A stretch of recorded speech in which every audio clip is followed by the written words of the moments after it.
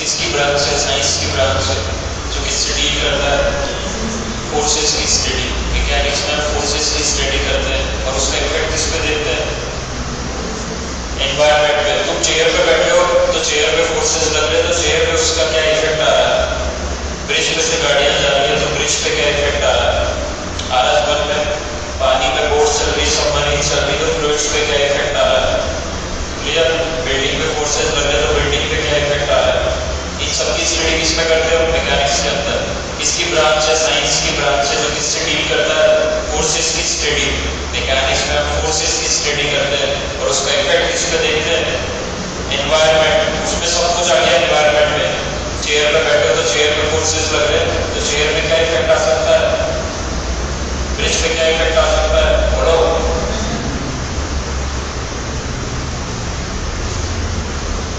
अरे कुछ भी आ सकता है डिस्प्लेसमेंट वेलोसिटी एक्सेलरेशन कोई भी इफ़ेक्ट आ सकता आ सकता है ना? मैकेनिकल का अलग ओरिएंटेशन है सिविल का अलग ओरिएंटेशन है।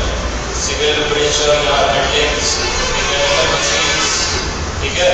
तो किसके दोनों? दोनों? सिविल का क्या है? उसको ओरिएंटेशन बताओ। मैकेनिक्स को लेकर।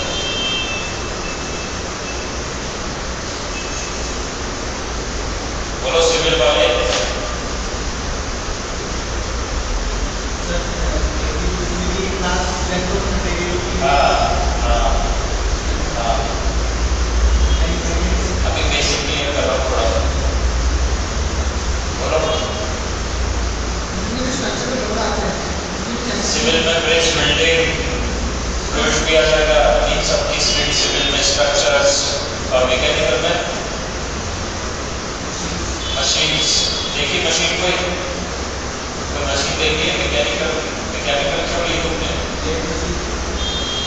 ये मशीन है। मशीन टूल है। मशीन कभी। मैकेनिकल कौन सी? अरे जो सिविल का काम करती है मैकेनिकल की मशीन है। तो दोनों को ही पता होना चाहिए तीन की खुली थी एक खुली थी सात बजे थी ना क्लास एक कैसे हो गए कहाँ से और पूछ जाता है बोलो सिग्निफिकेंट तो पता होना चाहिए हर चीज़ का मैकेनिकल ब्रांच क्यों ली हाँ सिविल क्यों ली दोनों पे पढ़ाऊँगा मैं मैकेनिकल सिविल मैकेनिकल क्यों ली बनाई था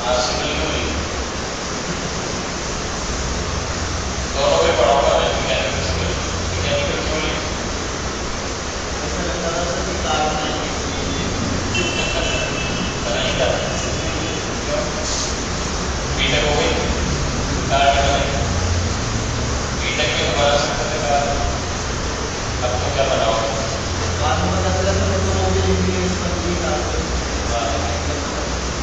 बोलो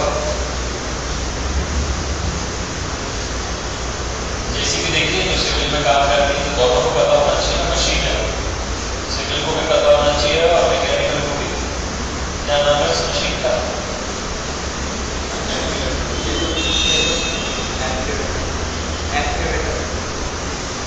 सिविल का है वो बोल रहा है और तो कुछ बोले नहीं वो मैकेनिकल कैसे काम चलेगा बताओ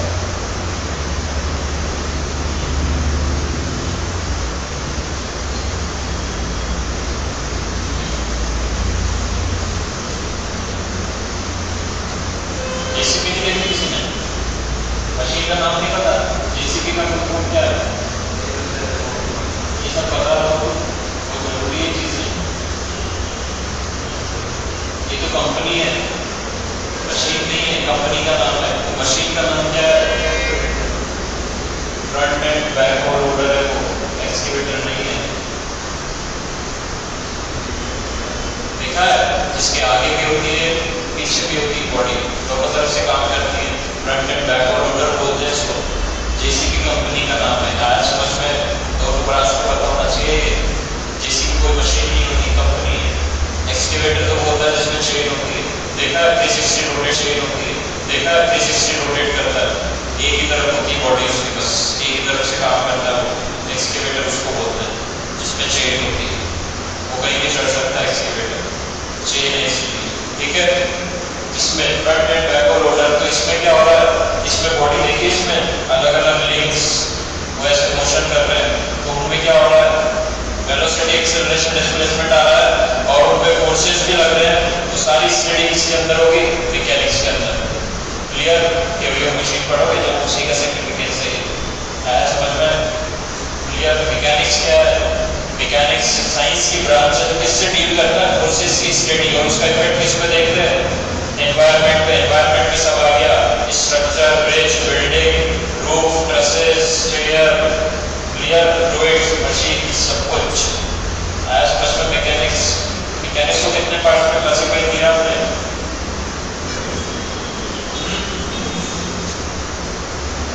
मैकेनिक्स को हमने तीन पार्ट्स में क्लासिफाई किया बस ये तुम्हारा बहुत स्ट्रॉन्ग होगा बचपन में पढ़ा था बचपन मतलब engineering mechanics second strength of material इसको और क्या बोलते हैं सॉलिड मैकेनिक्स और और मैकेनिक्स ऑफ़ सॉलिड और मैकेनिक्स ऑफ़ मटेरियल्स ये सब इसी के नाम है और हर नाम का अपना सिग्निफिकेंस है वो हम देखेंगे आगे almost a mechanics of deformable bodies, theory of elastic failure. ये सारे नाम स्ट्रेंथ ऑफ़ मटेरियल में clear strength of material solid mechanics mechanics of solid mechanics of material mechanics of reformable bodies theory of elastic field तीसरा कौन सा part है? Fluid fluid mechanics इसको कितने पार्ट्स में क्लासिफाई किया फ्लूइड को कौन कौन से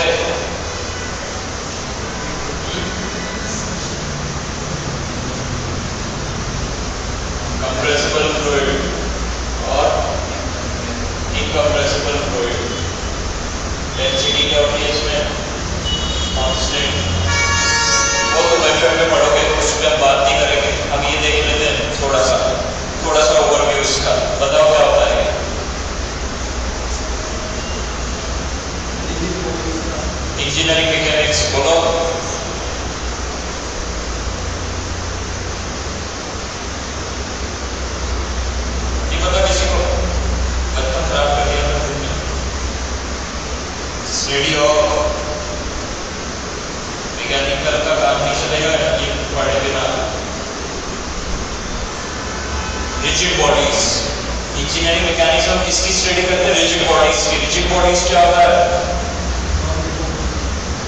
रिजिड बॉडीज क्या होता है? ये बॉडी है इस पर मैं फोर्स लगा रहा हूँ।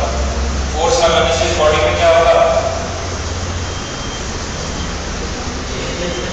इसमें जो पोजीशन ले ली पार्टिकल की चेंज होगी क्या?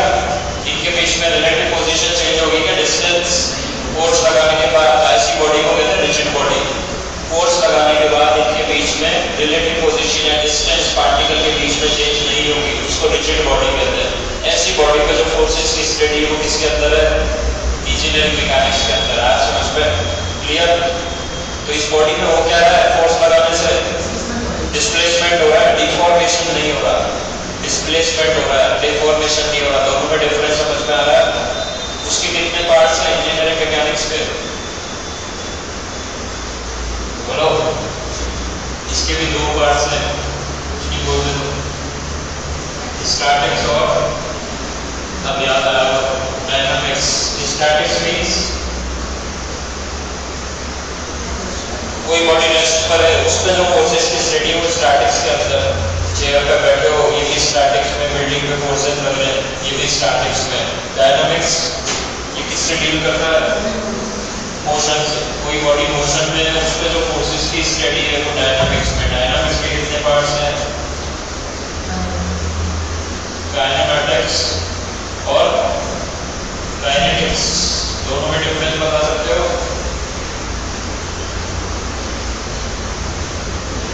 काइनेमेटिक्स और काइनेटिक्स पहले समझना, लिखने का टाइम का दूँगा तुमको। बेस बनाना तुम्हारा बेस नहीं बना तो गए कितना ही पढ़ लो फिर। बेस बनाने में तुम्हें ध्यान देना है। लिख लेना फिर आराम से। काइनेमेटिक्स मशीन बताई ना अभी मोशन में है? उस मशीन में क्या क्या लगा है? डिस्प्लेसमेंट आ रहा है, उसकी वजह से उसमें वेलोसिटी आएगी, उसकी वजह से एक्सेलरेशन और उस पे फोर्सेस भी लग रहे हैं। तो इसमें डिस्प्लेसमेंट वेलोसिटी और एक्सेलरेशन की स्टडी होगी। उन फोर्सेस को नेगलेक्ट कर देंगे। उन फोर्सेस की स्टडी किस पे होगी? मास अगर फोर्सेस पे होंगे उस पे। उन फोर्सेस की स्टडी किसमें होगी? काइनेटिक्स में। वो जैसे कि जब मोशन कर रही है मशीन उसमें डिस्प्लेसमेंट आ रहा है उसकी वजह से velocity dx by dt acceleration dv by dt, सब आएगा उसमें उसकी स्टडी काइनेमेटिक्स में और फोर्सेस की स्टडी काइनेटिक्स में। इन फोर्सेस को इसमें नेगलेक्ट कर देते हैं। क्लियर ये समझ में आया? अब स्ट्रेंथ ऑफ़ मटेरियल की बताओ बारे में कुछ इंजीनियरिंग मैकेनिक्स क्लियर है स्ट्रेंथ ऑफ़ मटेरियल बताओ इसमें इंटरव्यू नहीं है, लेकिन जहाँ पे इंटरव्यू दोगे तो सबसे पहला क्वेश्चन यही पूछता है, दोनों के बीच डिफरेंस इसमें और इसमें डिफरेंस पूछता है। बताओ स्ट्रेंथ ऑफ़ मटेरियल ये देखो। इसमें क्या करते हैं study of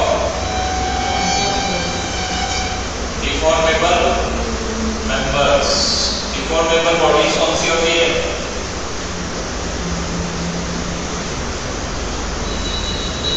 फोर्स लगाने के बाद डिस्टेंस चेंज हो जाए दो पार्टी बीच में क्या हो रहा है? डिस्टेंस रिलेटिव पोजीशन चेंज हो रही है। उसको बोलते हैं डिफॉर्मेबल बॉडीज और डिफॉर्मेबल बॉडीज की स्टडी किसमें करते हैं स्ट्रेंथ ऑफ़ मटेरियल में। क्लियर और रिजिड बॉडी की स्टडी किसमें करते हैं? इंजीनियरिंग मैकेनिक्स में। सस्पेंशन ब्रिज देखा होगा तुमने सबने? क्या सिविल वालों को तो पता ही होता है सस्पेंशन ब्रिज क्या होता है? मैकेनिकल वालों ने देखा कभी? ऐसे रस्सियाँ होती है लगी हुई रस्सियों से सपोर्ट रहता है, उसको नीचे प्लेटफॉर्म होता है। अब जैसे प्लेटफॉर्म पे फोर्स लगा तो क्या होगा? रस्सियाँ क्या करेगी रोप्स रोप्स एक डिफॉर्मेबल मेंबर है, वो खींचेगी ऐसे।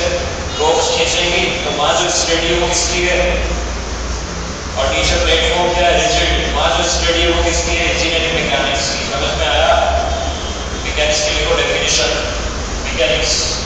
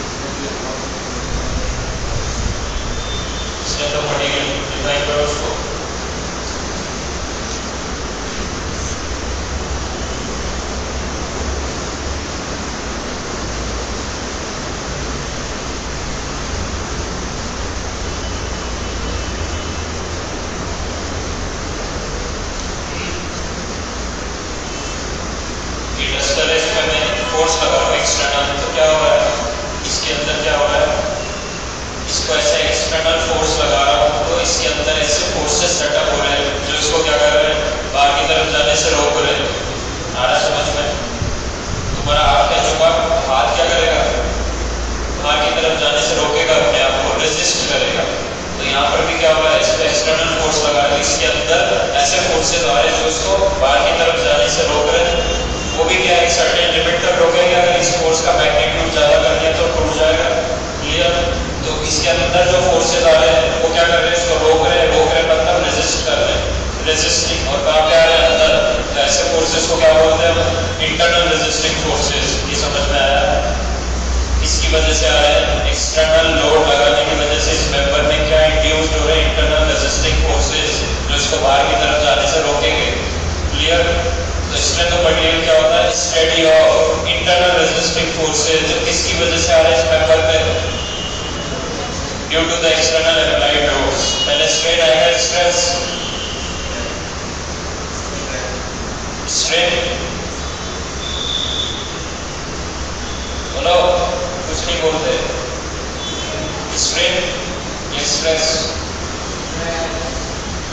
या स्ट्रेस एक आएगा ना पहले दोनों में आ जाएँगे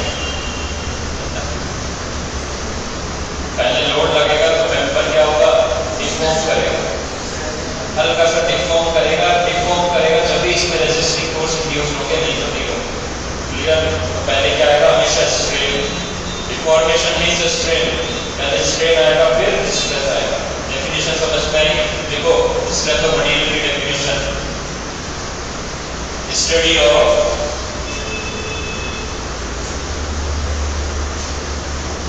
study of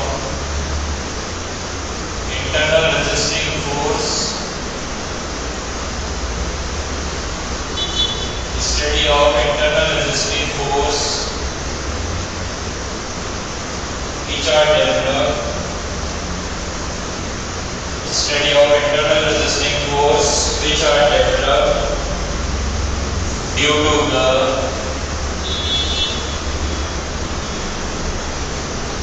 due to the deformation due to the deformation of a body. Due to the deformation of a body. Under the action of under of loads due to the deformation of a body under the action of loads. Example लिखो loads के बारे में external forces external forces और couples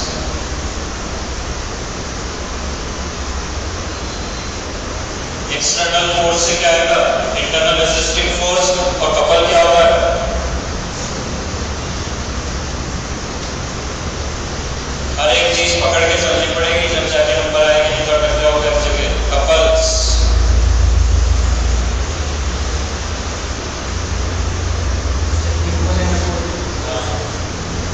बोलो। देखो couple देखो इधर। एक फोर्स बन रहा है इधर, दस न्यूटन।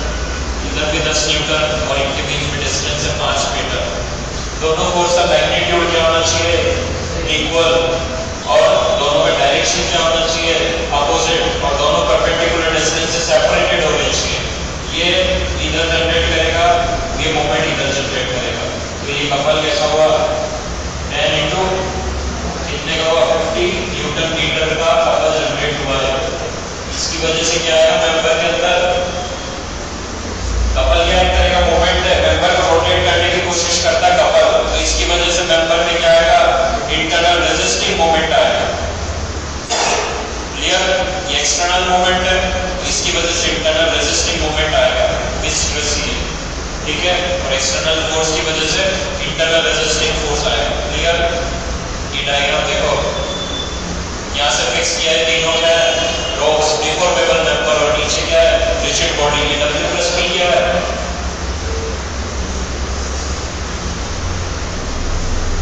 डब्ल्यू इसका वेट है, इस बॉडी का। सेल्फ वेट और पी क्या है इस पे? एक्सटर्नल फोर्स इन दोनों की वजह से इस बॉडी में क्या हो रहा है? इस बॉडी में क्या हो रहा है? डेल का कॉम्पोनेंट डिफॉर्मेशन क्या हो रहा है इस बॉडी में? डिस्प्लेसमेंट हो रहा है, क्योंकि रिजिड है ना तो इस बॉडी में क्या हो रहा है? डिस्प्लेसमेंट और उसकी वजह से रोक्स में क्या हो रहा है? डिफॉर्मेशन तो ये एक्सपेरिमेंट है। बाद में हमने ऑब्ज़र्व किया। इसके बीच y मान ली। इसके बीच y डैश मान ली। Y मान ली। इसके बीच y डैश मान ली। तो ऑब्ज़र्व क्या किया?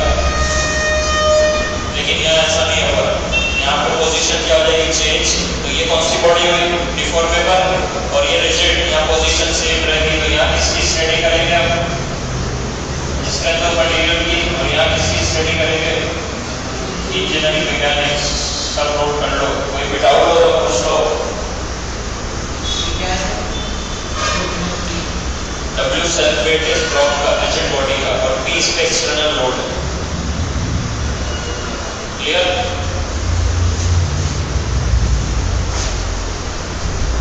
मज़े से पढ़ो एकदम क्लास में। कोई भी दिक्कत हो पूछ लो बीच में कभी भी। डाउट रहना नहीं चाहिए, पहले ही बोल रहा हूँ। डाउट रह गया तो रहेगा तो फिर परेशान करता बहुत। ठीक है?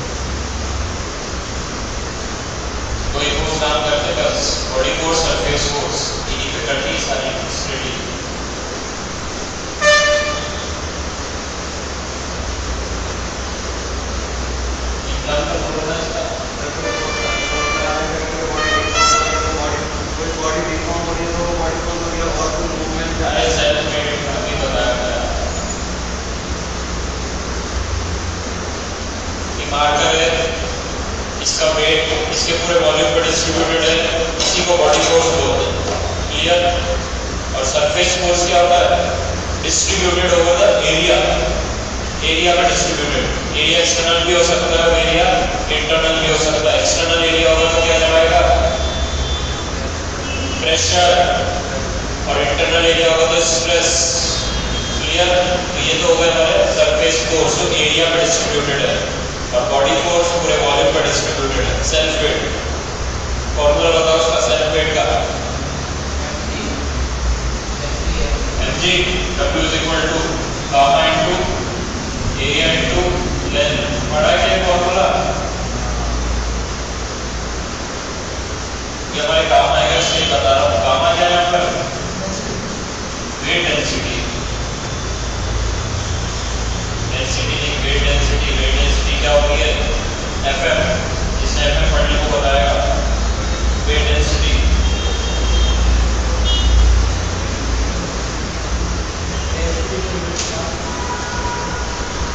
क्या होता है gamma is equal to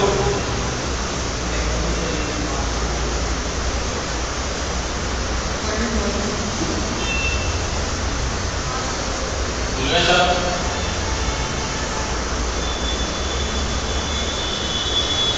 weight density equal rho g W is equal to gamma को क्या लिख सकते हैं? Rho g into area into length क्या होता है? वॉल्यूम डेंसिटी इनटू वॉल्यूम क्या हो गया? आ गया तुम्हारा फॉर्मूला जो तुम बोल रहे थे। दोनों फॉर्मूले क्या है? सिमिलर है। हमें क्या है? ये वाला ध्यान रखना है। हमारे काम आएगा इसलिए क्लियर इसका सल्फेट का फॉर्मूला और एग्जांपल बताओ उसके बॉडी फोर्स के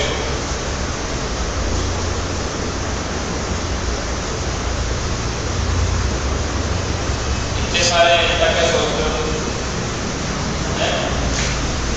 बॉडी फोर्स के बताओ ना एग्जांपल दुनिया में इतने सारे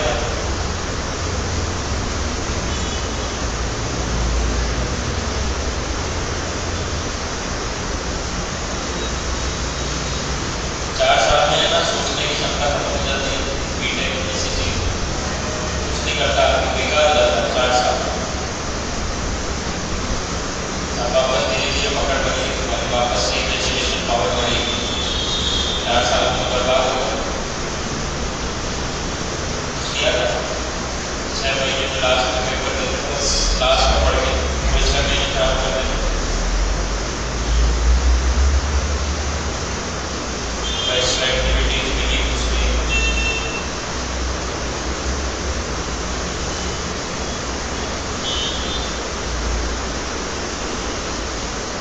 लेमेटिक फोर्स और सेंट्रीफ्यूगल फोर्स का नाम सुना है? वो भी तो बॉडी फोर्स है। क्या होता है सेंट्रीफ्यूगल हाँ, फोर्स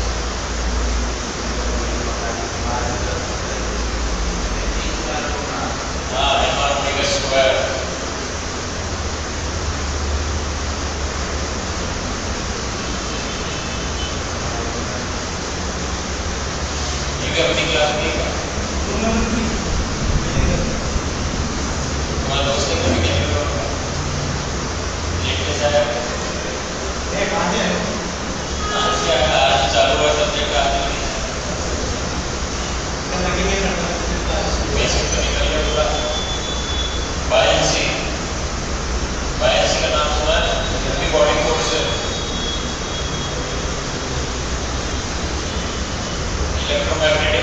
बॉडी फोर्स है बहुत सारे ऐसे सरफेस फोर्स क्या होता है एरिया पर डिस्ट्रीब्यूटेड एरिया एक्सटर्नल भी हो सकता है इंटरनल भी इसका एग्जांपल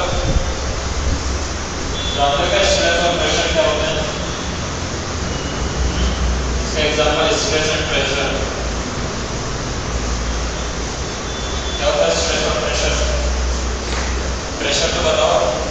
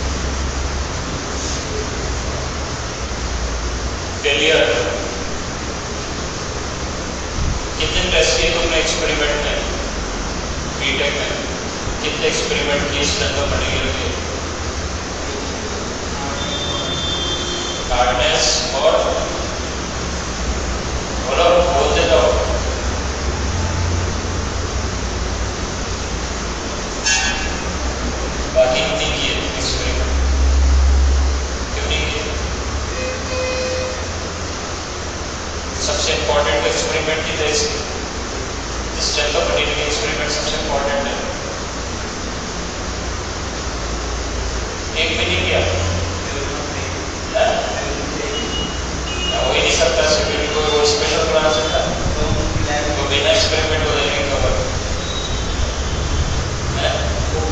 सिविल में भी यूटीएम पे काम करना पड़ता है। टेंशन टेस्ट और प्रेशर टेस्ट उस पर भी रहना हाँ, तो पट्टी टेस्ट भी सिविल में, सारे टेस्ट हैं। इम्पैक्ट टेस्ट भी है हार्ट टेस्ट भी है, सब कुछ है। टॉर्शन टेस्ट भी है तुमने कितनी की है? कंप्रेशन टेंशन और हार्ट टेस्ट और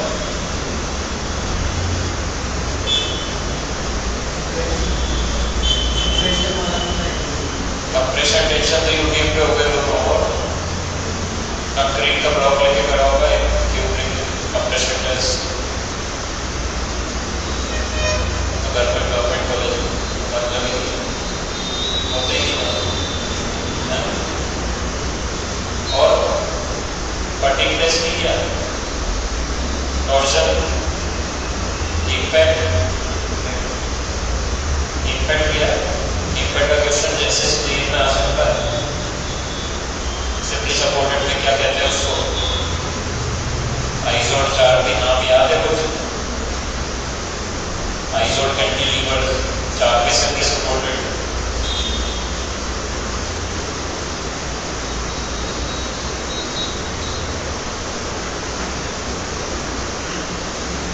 प्रैक्टिकल एग्ज़ाम में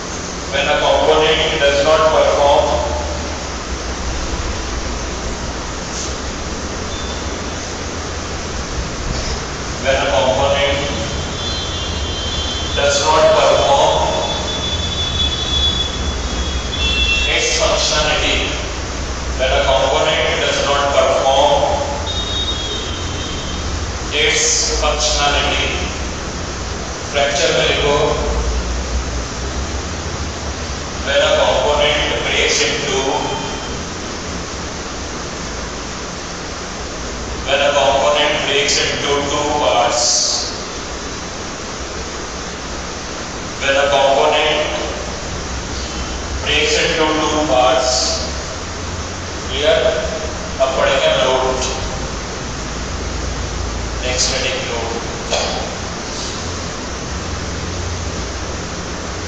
लोड उसके बाद पढ़ेंगे स्ट्रेस क्योंकि क्योंकि पहले लोड लगेगा लोड से क्या जनरेट होगा? स्ट्रेस लोड क्या होता है अभी बताया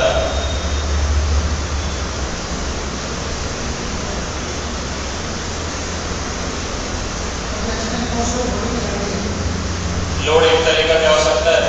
एक्सटर्नल फोर्स भी हो सकता है और कपल भी हो सकता है, जिसका ऑब्जेक्टिव फंक्शनैलिटी भी क्या हो जाएगा? चेंज इस पे लोड लगेगा तो इसकी फ़ंक्शन जैसे पहले कर रहा था वैसे नहीं करेगा, ये फंक्शनैलिटी में चेंज हो जाएगा। लिखो definition load is defined as an load is defined as an external force load is defined as an external force or a couple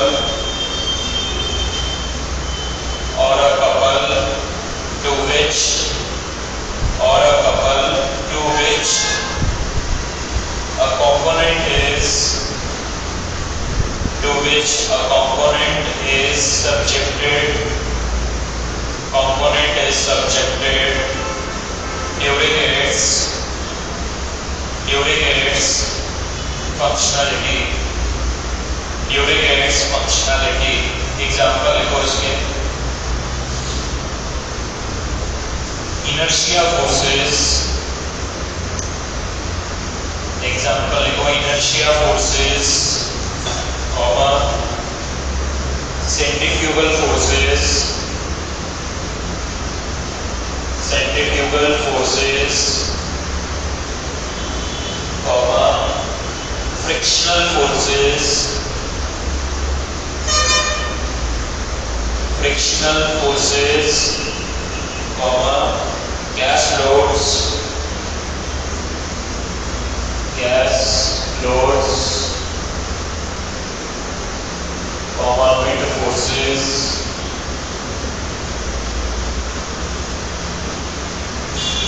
Comma twisting moment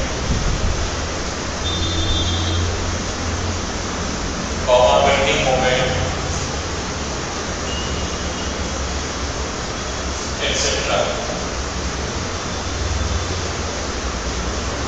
ठीक है ये सब लोड्स हैं एक तरह के बेंडिंग मोमेंट ट्विस्टिंग मोमेंट आगे discuss करेंगे। विंड फोर्सेस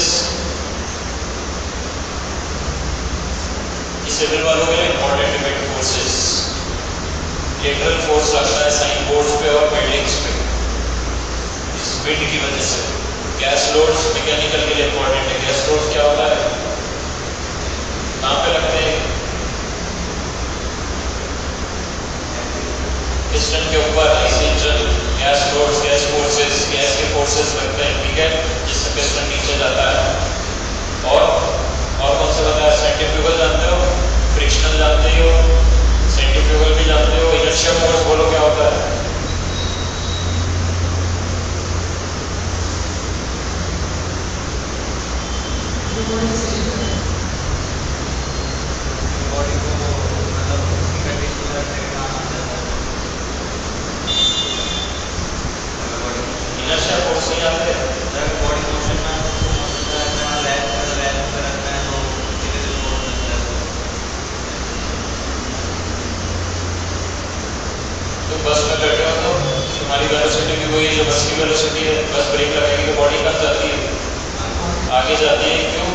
बॉडी की वजह से नहीं जाता है उसमें बस तो धीरे हो गई ना तो बॉडी आगे जाती है जुकाम फोर्स लगाएगी बॉडी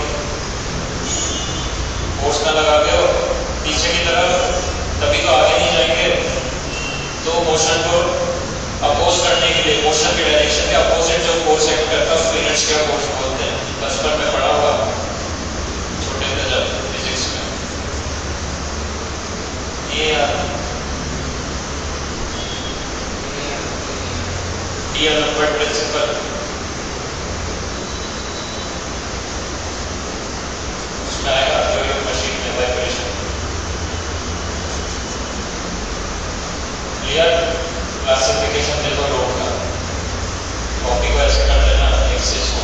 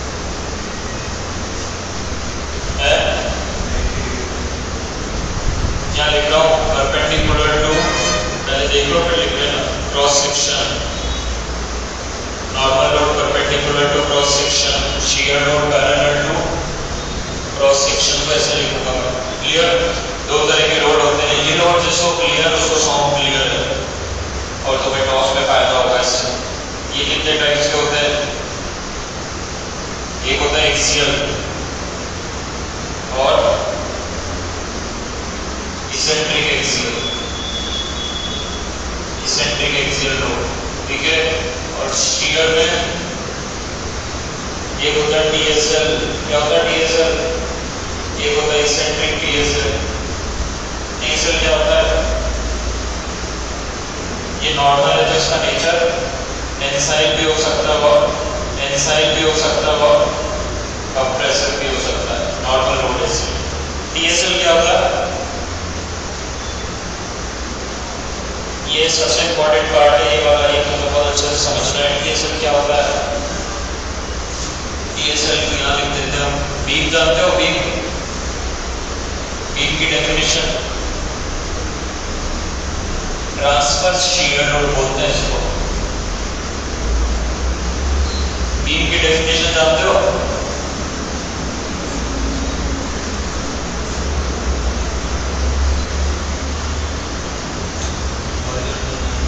तो ऐसे पे बीम के क्यों बनाते हैं का ही बनाते हैं ना ऐसे बीम की तो बीम क्या होता है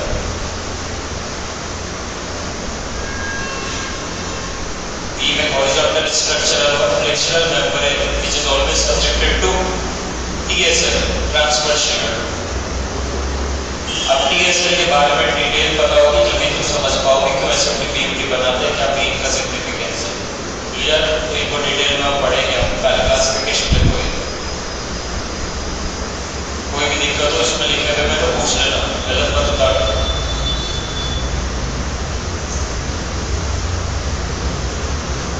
कोई भी डाउट हो क्लास में पूछ लो क्लास में नहीं तो बाद में पूछ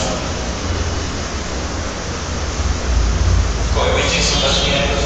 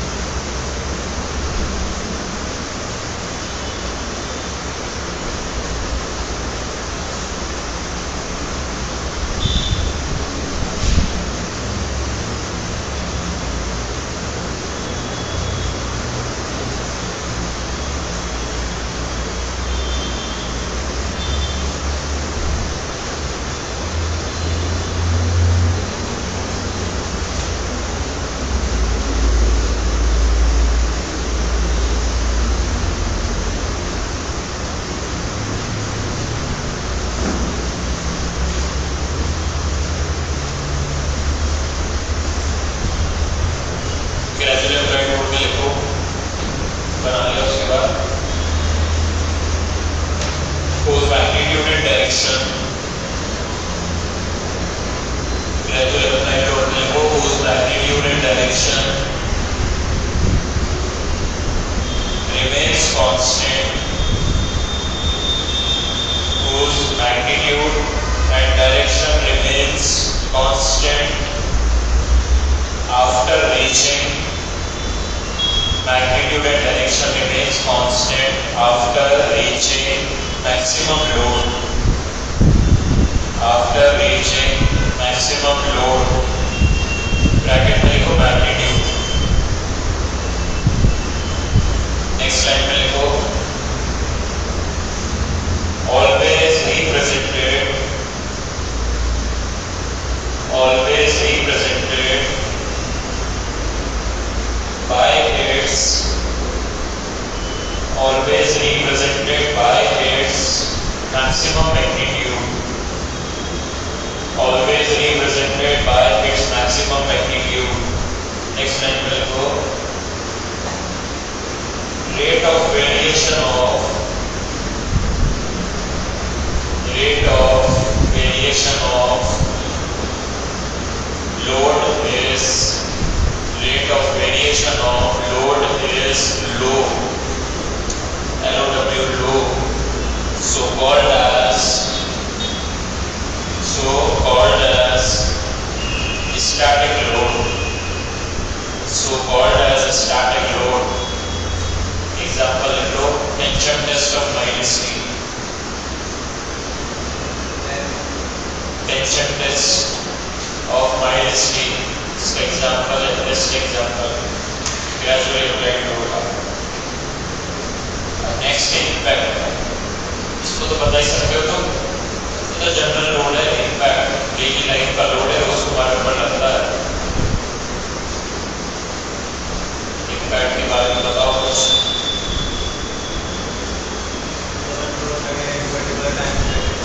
आ जाएगी short time period में वर्टिकल लाइन आ जाएगी ये रहा ग्राफ इम्पैक्ट लोड का ग्राफ क्या समझ में आया एकदम से बहुत ज़्यादा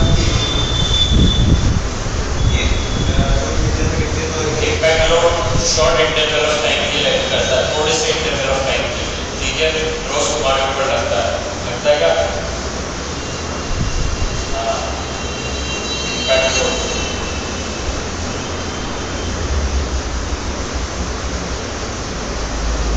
एक्सीडेंट इम्पैक्ट लोड का एग्जांपल है या नहीं एक्सीडेंट में क्या होता है टाइम इंटरवल इतना कम है कि इंसान का दिमाग काम करना बंद कर देता है ह्यूमन ब्रेन तभी तो एक्सीडेंट होता है।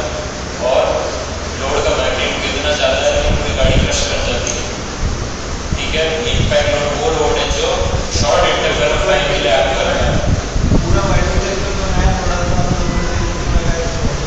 पूरा वर्टिकल होता है कि लेकिन अपन ऐसे भी कर रहे एक पर्टिकुलर पॉइंट इंस्टेंटेनियस लोड लगाए एक पर्टिकुलर टाइम पे।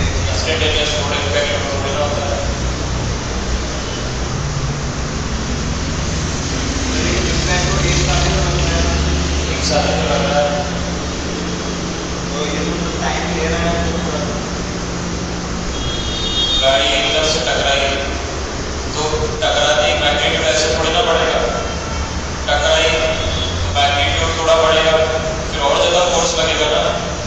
थोड़ा फोर्स तो बढ़ेगा नहीं तो और ज़्यादा लगेगा तो धीरे तो बढ़ा ऐसे तो गया ग्राफ आया समझ में नहीं है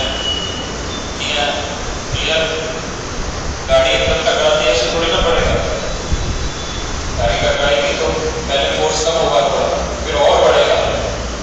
ठीक है? प्रैक्टिकली समझा रहा हूँ। आया समझ में? क्लियर है? उसको अपनी डायनामिक लोड में लगा के ये देखो, ये क्या है? डेल और ये क्या है? यहाँ पे रेट क्या है यहाँ पे रेट बहुत ज़्यादा है लोड का वेरिएशन मतलब लोड टाइम के साथ क्या है, बहुत ज़्यादा वेरी कर रहा है। तुम्हारे सामने ग्राफ देखो, थोड़े से टाइम में लोड का मैग्नीट्यूड कितना ज़्यादा वेरी कर रहा है। इसलिए इसको डायनामिक कर क्लियर मिट्टी के पार्टिकल्स लगते ना वो इम्पैक्ट हो रहा है। रोज लगता है तुम्हारे डस्ट पार्टिकल्स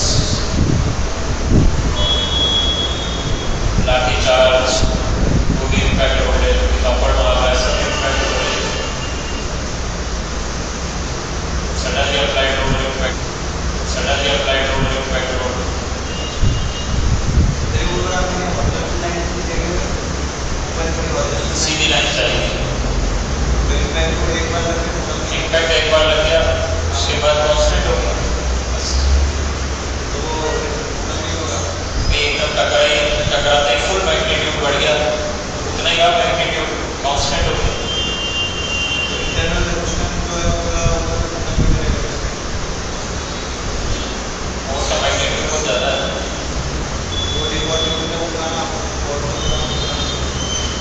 मैग्नीट्यूड बहुत ज़्यादा है फोर्स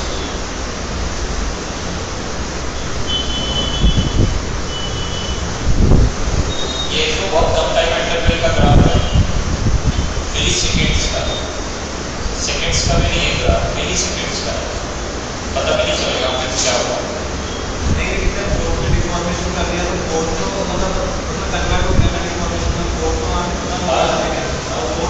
तो मिली सेकेंड्स का ग्राफ है। इंफॉर्मेशन तो बहुत लेट होगा तो बहुत लेट होगा। ये तो टकरा नहीं होगा एटीट्यूड बड़ा महसूस लग रहा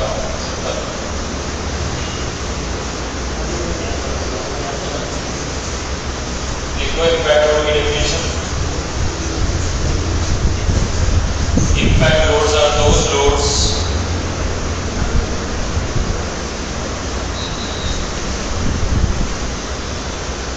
that roads are uh, those roads which are acting which are acting for a which are acting for a short interval of time which are acting for a short interval of time. Impact roads are those roads which are acting for a short interval of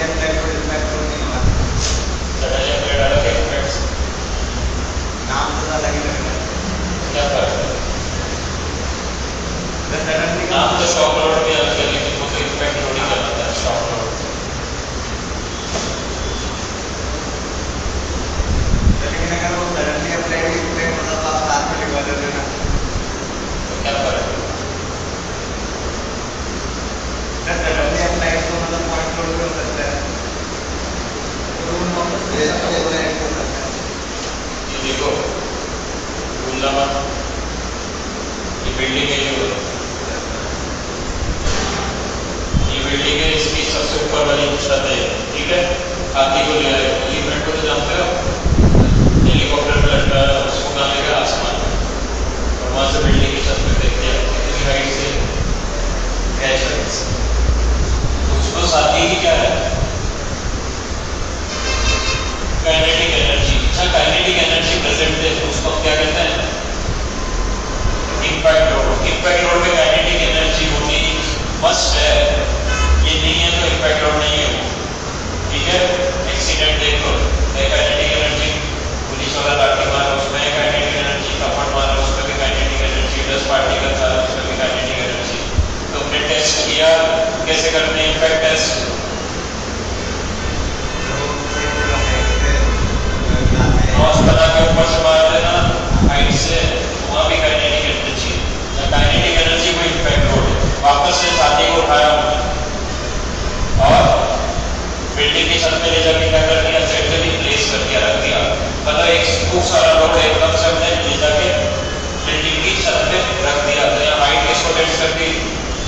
kinetic energy tends to zero ये कौन सा load है suddenly applied समझ में आ गया यहाँ kinetic energy नहीं होगी यहाँ पे काइनेटिक एनर्जी होगी क्लियर है या नहीं हाथी को फेंक दिया देखो देखो ऊपर से फेंक दिया चेयर पे ये कौन सा लोड है इम्पैक्ट और चेयर पे उसको बिठा दिया, ले जाके ये सडनली अप्लाई लोड का मैग्नीट्यूड ज़्यादा ले लो बस। दस आदमी जितना वेट लो आगे तो किसी भी कंपोनेंट को डिज़ाइन करना है तो किस बेसिस पे करेंगे। इम्पैक्ट पे स्टार्टिंग पे।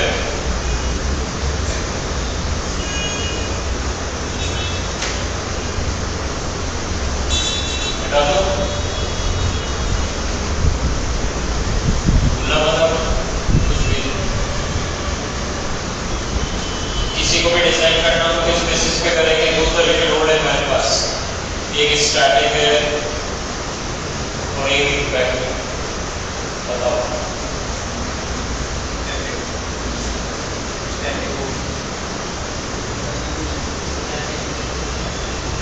कोई भी कंपोनेंट मेरे को डिज़ाइन करना स्टैटिक नहीं करेंगे।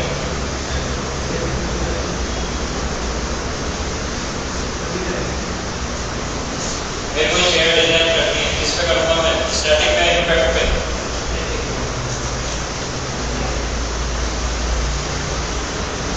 अरे मैग्नीट्यूड किसका ज़्यादा होगा? बस कंडीशन कौन सी है? इम्पैक्ट इम्पैक्ट पे डिज़ाइन होगी। इस चेयर पे, इस आदमी को पर्सन लेकर वो कौन सा है? इम्पैक्ट और एक बैठा है स्टैटिक मान लो कोई कूद गया पे तो टूट जाएगी ना तो डिज़ाइन तो इम्पैक्ट पे करना पड़ेगा उसको। कूद जाते हैं स्टूडेंट ठीक है? मैग्नीट्यूड ज़्यादा किसका है? इम्पैक्ट का किससे स्टैटिक से। कोई भी कंपोनेंट इम्पैक्ट लोड पे डिज़ाइन होगा स्टैटिक पे नहीं, क्योंकि इम्पैक्ट का मैग्नीट्यूड क्या है, ज़्यादा। ठीक है? तो स्टैटिक पे तो अपने आप क्या हो गया? सेम हो गया।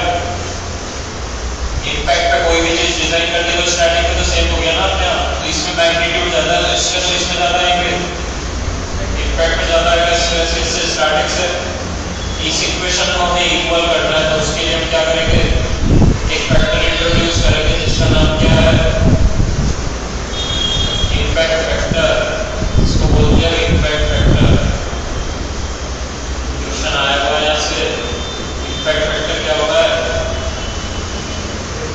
ये ज़्यादा मैग्नीट्यूड इससे तो इक्वल करने के लिए हमने यहाँ पे क्या किया? एक फैक्टर इंट्रोड्यूस किया जिसका नाम है इम्पैक्ट फैक्टर तो इक्वेशन क्या होगी? Sigma impact is equal to impact factor into sigma static impact factor की वैल्यू जनरली क्या होती है? ग्रेटर देन इक्वल टू 2 इससे कम नहीं हो सकती क्योंकि ये वैल्यू ज़्यादा है। तो इक्वेशन क्या होगा? Sigma impact is greater than equal to 2 times sigma static बोलो। वन होगा तो फिर तो इक्वल हो गया ना जबकि इम्पैक्ट का मैग्नीट्यूड ज़्यादा है डिस्टेंस का तो तो हो ही नहीं सकता वन से तो ज़्यादा ही होना। तो जनरल वैल्यू हमने टू या उससे ज़्यादा इसकी डिज़ाइन करी है थोड़ा और ज़्यादा लेके चलते हैं सेम डिज़ाइन क्लियर अगर ये वन हो गया तब तो इक्वल हो गए तो इक्वेशन गलत हो ये गलत हो गई ना इक्वेशन वन हो गलत। क्लियर इतना नोट करो पहले। कोई भी दिक्कत हो तो पूछ लो।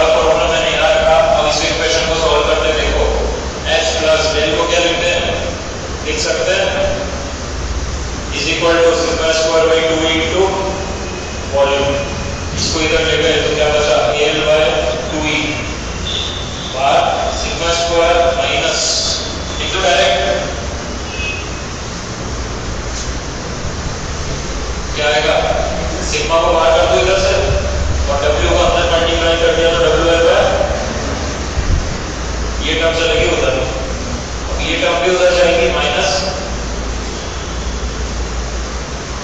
ये कौन सी इक्वेशन है? कौन सी इक्वेशन है? बचपन में पढ़ी होगी क्वाड्रेटिक इक्वेशन इसके रूट्स कैसे निकालते हैं? सीधी तरह से आगे से ये भी बचपन में पढ़ा होगा फोर एसी का रूट अपॉन टू है रूट्स तुम निकाल के देखोगे इसके। तब इक्वेशन हमारे पास आएगी sigma is equal to W by A into one plus one plus two H by W A root क्या समझ में आया इस इक्वेशन से बताओ जैसे श्रीधर श्रीधराचार्य अप्लाई करोगे इक्वेशन निकल के आएगी देख लेना निकाल कि कौन सा स्ट्रेस है बोलो इम्पैक्ट लोड है ना तो कौन सा स्ट्रेस आएगा इम्पैक्ट ये क्या बचा static stress P by A W by A एक ही चीज़ है बाई ए पड़ा होगा और ये आगे क्या बचा फिर? ये इक्वेशन थी, हमारी इससे हमने इसको कंपेयर किया तो ये क्या बचा पूरा? हो गई डायरेक्ट कर लो नोट इंपॉर्टेंट है ये इक्वेशन बहुत इंपॉर्टेंट है, इसमें न्यूमेरिकल आया है। शॉर्ट नोट्स में डालनी है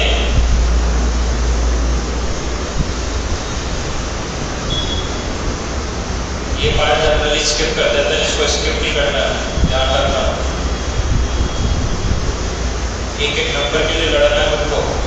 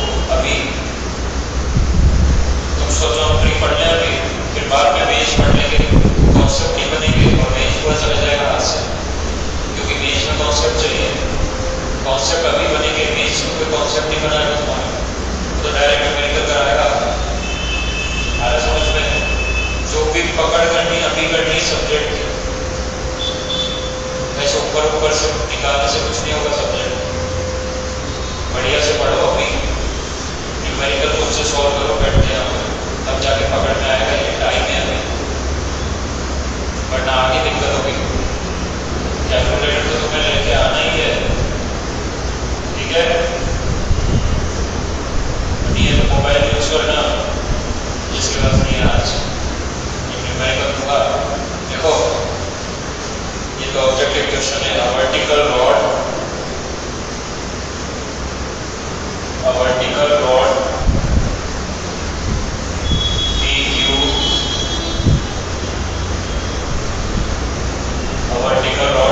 of length L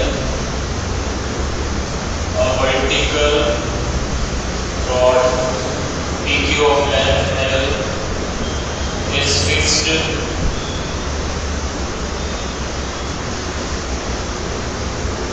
is fixed at its top end fixed at its top end P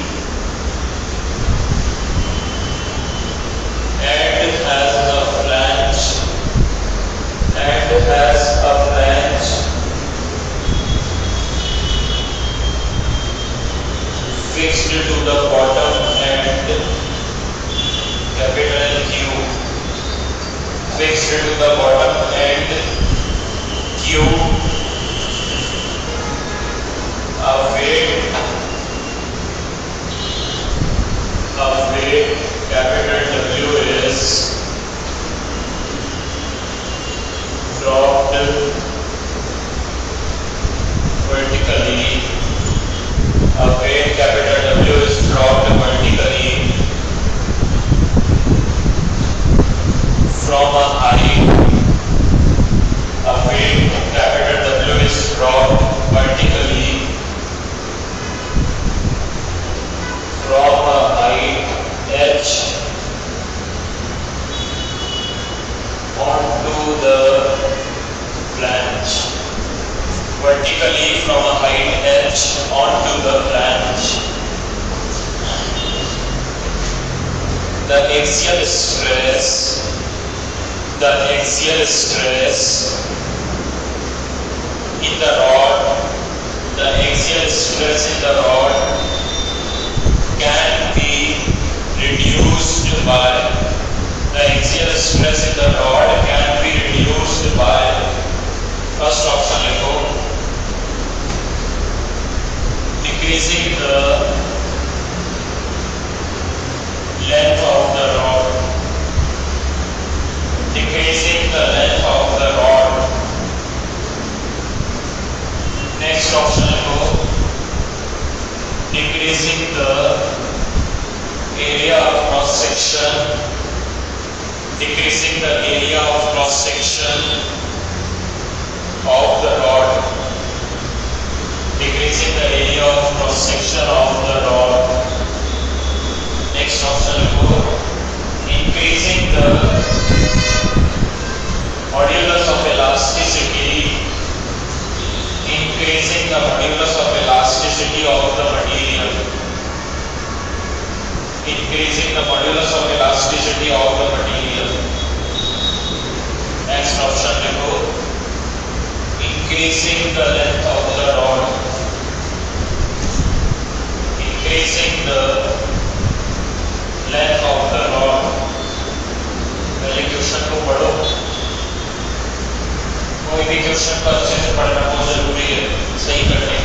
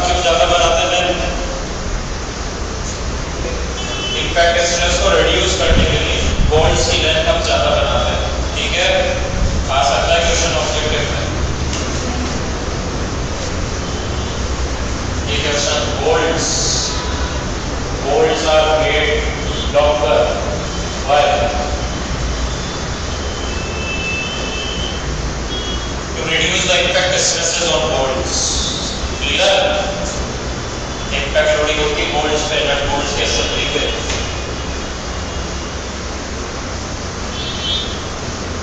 bolted and welded joints under eccentric loading condition machine design में मैकेनिकल पड़ेगी और स्टील में सिविल पड़ेगा। Bolted and welded joints under eccentric loading condition दोनों subject similar है। Mechanical machine design civil steel structure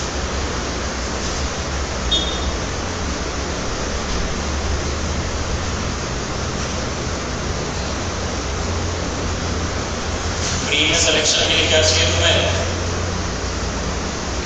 ये मत सोचो, पहले फ्री होगा तो मैं मैनेज करूँगा। कभी सक्सेस नहीं होगा लाइफ फ्री के लिए क्या चाहिए? सिलेक्शन के लिए मेन चीज़। जीएस पे फोकस करो आज से। टेक्निकल जो चल रहा है, चलता रहेगा। जीएस पे फोकस अभी से करना पड़ेगा। सारे टेक्निकल टेक्निकल स्ट्रॉन्ग होता है तो तुम्हारा सिलेक्शन किस बेसिस पे होगा सी के बेसिस क्लियर जनरल स्टडीज़ को अभी से पढ़ना चालू कर दो अच्छे से तुम्हारा फ्री निकल जाएगा